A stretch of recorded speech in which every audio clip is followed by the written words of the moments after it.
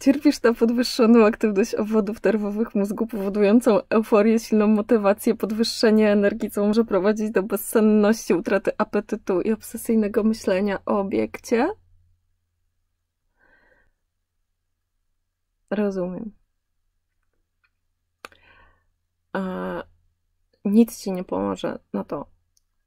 Mm, musisz to po prostu wziąć na przeczekanie i stopniowo eliminować przy użyciu oksytocyny albo wazopresyny, to zależy jakiej jesteś płci. Dzierganki Dagi ze sklepu Meme na pewno ci na to nie pomogą. Ale przynajmniej możesz się oznakować jako chory.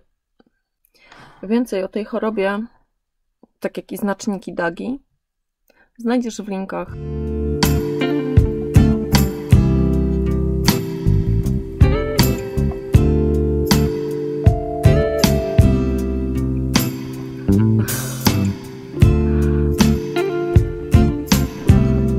Czy wiesz, że muzyka z pornosa nie znalazła się tu przypadkiem?